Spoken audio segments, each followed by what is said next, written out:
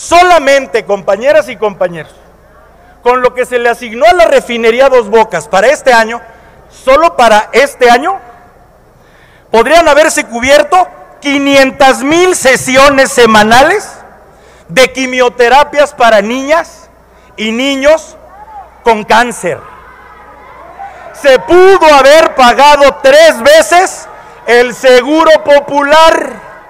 Con el presupuesto de este año, tres veces el programa de estancias infantiles, 500 veces el programa de refugios para mujeres violentadas, 50 veces el portaseg, que es para la seguridad de millones de personas en este país. Quintuplicar el presupuesto del Fonden. La gente debe de saberlo. Sí hay dinero. Sí hay recursos públicos. El problema son las prioridades equivocadas que vienen dictadas desde el Palacio Nacional.